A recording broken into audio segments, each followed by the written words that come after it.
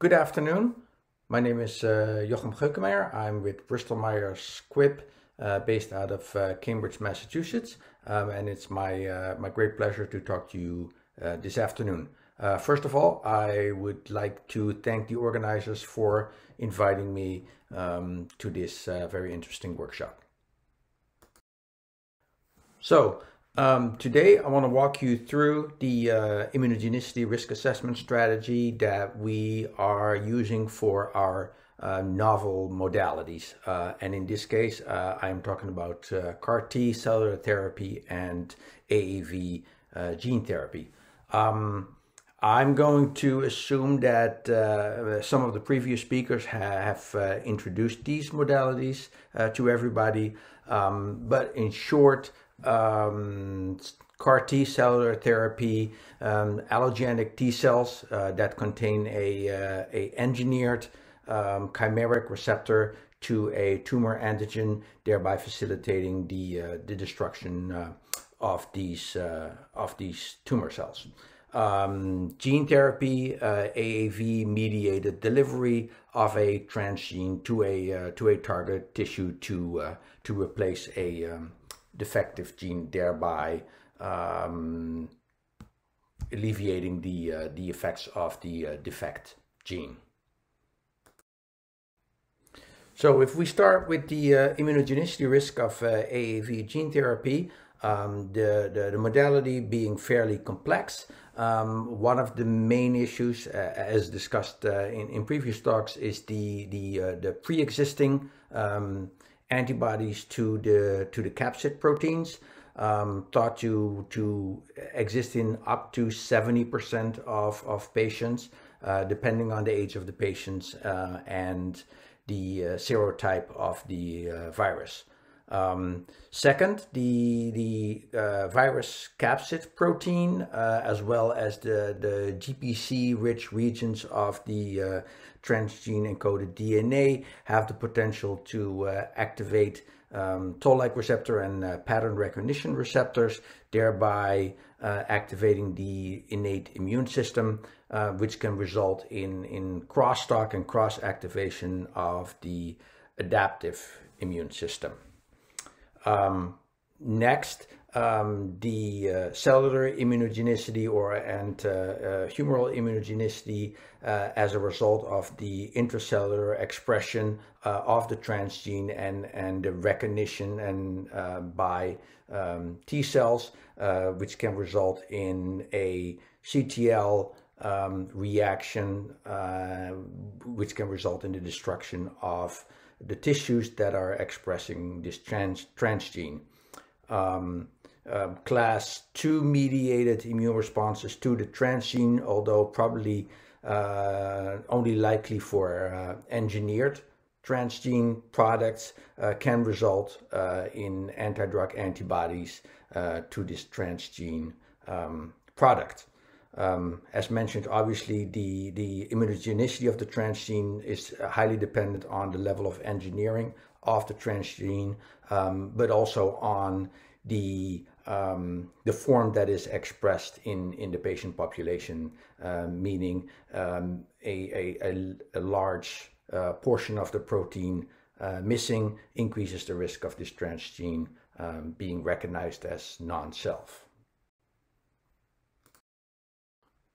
For the, uh, the CAR T um, immunogenicity uh, risk potential, um, since the chimeric receptor is expressed intracellular, um, we feel that the, the, main risk for this uh, modality uh, involves the uh, the processing and, and presentation uh, of this transgene and being recognized as a, uh, a, a non-self peptide resulting in either uh, a cellular immune response, which can result in a CTL reaction towards um, the CAR Ts and, and, and destruction of those cells, or um, a, a humoral uh, immune response, which would result in uh, anti-drug antibodies that can recognize the chimeric receptor and thereby inhibit um, and neutralize the efficacy of this modality.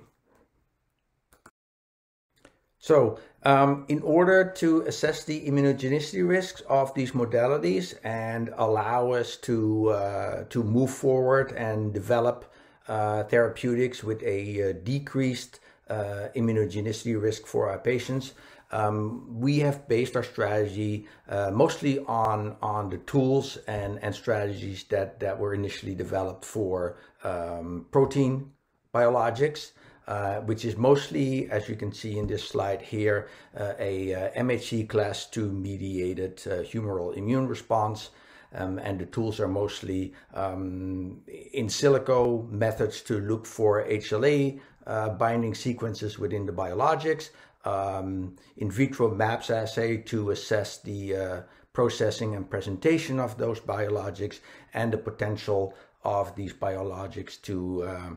to elicit a, uh, uh, CD4 T cell proliferative reaction in an uh, in vitro assay. Um, so we have those tools in place, uh, and and our strategy is mainly to see what portions and how can we uh, use those tools to assess the risk of these um, novel modalities.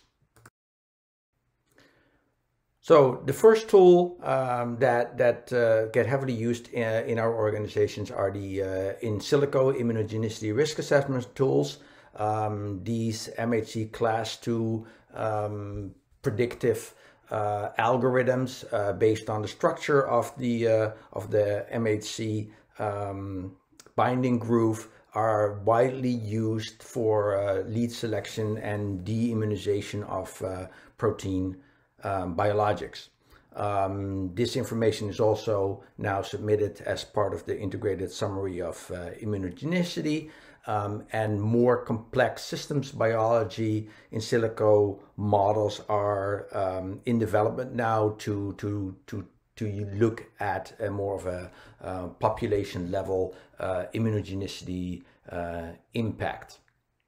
So applying these tools to, to these novel modalities, as mentioned before, um, a lot of these, these uh, CAR T and, and gene therapy um, therapeutics are uh, intracellular expressed and therefore have the potential to be presented uh, on, on, on a class 2 um, MHC uh, receptor. Uh, and I think the, the, the encouraging uh, and, and for us useful um, um, is that most of the in silico tools that are available um, actually do have the option to to look at MHC class 1 binding. Um, and, and several studies have shown that uh, in most cases the, the class 1 prediction algorithms um, to be more reliable actually than the class 2 algorithms. So when we look at the immunogenicity risk uh, with our in silico methods, um, the majority of these uh, CAR-2, uh, CAR-T constructs are, are constructed from fully uh, human um, proteins and, and domains, uh, and those are therefore less likely to pose uh, an immunogenicity risk. Um, the the scFvs that are used for these chimeric receptors, um, while in the past a lot of them were actually from a, uh, a mouse source, now most of them are fully human. Um, so when we when we look at the immunogenicity risk of these constructs, uh, most of the risk is contained within these uh, uh, CDRs because they are um, hypermutated and therefore can be recognized as non-self. Um, the linkers um, between the different domains have the potential to be to be um, non-self, and then the junctions between the the different domains um, also have the potential to generate uh, novel non-human sequence. Um, for the gene therapy transgene constructs, um, as mentioned, uh, if we are replacing a, a complete wild type, uh, fully human gene, uh, those would obviously have um, not that much immunogenicity risk, although depending on uh, what the patient population is uh, is actually expressing, so big gaps in, in those genes or, or point mutations um, would differ um, from uh, from the transgene that we are introducing. So it is worth it to, to closely look at your transgene and compare that to, to what are the uh, mutations in your patient population. Um, if the transgene is engineered, it's obviously worth it to look at um, what portions are being en engineered, um, what junction does that create between the domains, and, and, and we can look at in, in with in silico methods to see if those portions are uh, likely to to be um, have binding potential for MHC class 1 and MHC class 2. So um, here I'm showing a uh, uh, uh, in silico, in silico uh, immunogenicity risk assessment for a, uh, a CAR T construct. So um, we are using a MHC class 1 and an MHC class 2 algorithm. Uh, and, and what these methods do is they, they really just look at the sequence of your construct and look at every possible peptide that can be generated from these constructs and, and assesses the, the, the, the binding potential to the different MHC molecules. Um, in combination with that, we are using now a, a, prediction illusion. This is the likelihood that that, that peptide will actually be processed and presented. Um, and, and we do like to use multiple tools uh, to give us increased confidence uh, in, the, uh, in the binding prediction. So as you can see um, in this um, cartoon here, um, we like to express our potential binding uh, potential on a scale of 1 to 10 and, and the different um, lines in this, uh, in, in this assessment here uh, projected below the different domains for CAR T construct give you an idea of what the um, the, the potential binding of these uh, junctions would be to MHC class 2. So as you can see here, uh, the junction between domain 1 and domain 2, um, there is very little MHC class 2 binding. Um, we can see that it's also not very likely to be uh, processed and presented on MHC class 2. Um, there's a little differentiation from uh, from uh, human homology, so there's a little bit of foreignness between these uh, these junctions, and you can see um, that there is um, a few potential binding uh, um, epitopes for MHC class 1.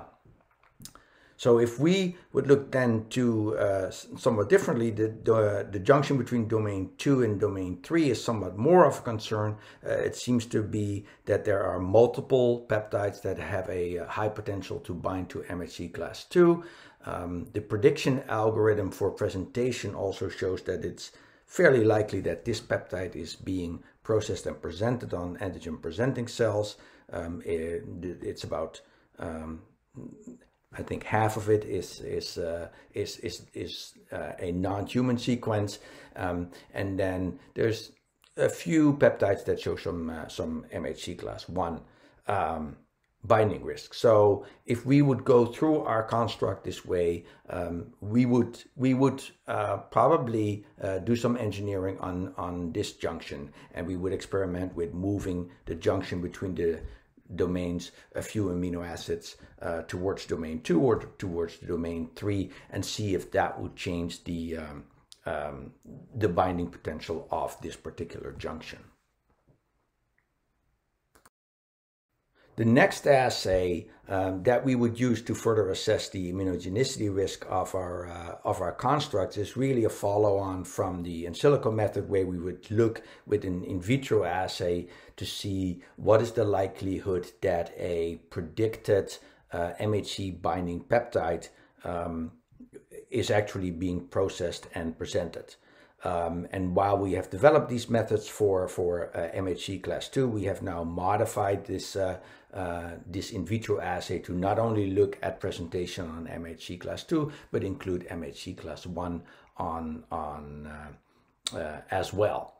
Um, so while traditionally um, for, for biologics, we would use um, a, a monocyte-derived um, dendritic cell to, to do the take-up and presentation of our biologics, and subsequently we would uh, IP and out the uh, uh, the class 2 receptor. Uh, we can modify this method and, and, and uh, elute the MHC class 1 and class 2 molecules straight from uh, the CAR T construct um, as you can see here, and then the peptides that are docked within um, those MHC molecules get sequenced um, by uh, LCMS and then uh, mapped back to the actual constructs. Um, so utilizing this assay, this would give us an idea of the um, what peptides are being um, presented by these chimeric T cells.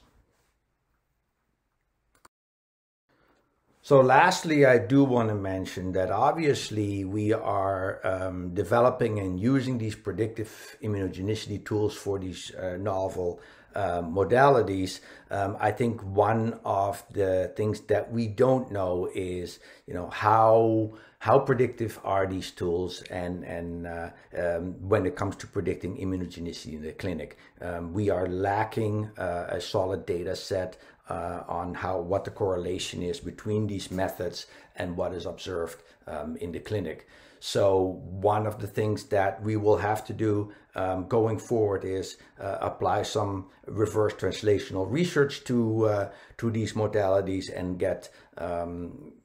get data from the clinic, uh, including what are the T cell epitopes that are driving immunogenicity once we observe immunogenicity, so that we can further uh, validate these methods uh, and great gain uh, a greater understanding of the of the immunogenicity of these um, novel modalities. Uh, in summary, uh, immunogenicity of novel modalities is, is uh, often complex and, can involve innate, adaptive, uh, and humoral immune systems. Uh, the risk assessment tools that we use for these uh, therapeutics um, are, can be modified from, from previously used um, immunogenicity um, risk assessment tools. And as mentioned, we will need reverse translational research and data uh, to further understand immunogenicity um, and show the utility of these tools. Um, thank you very much, uh, and uh, I'll be happy to take uh, any questions.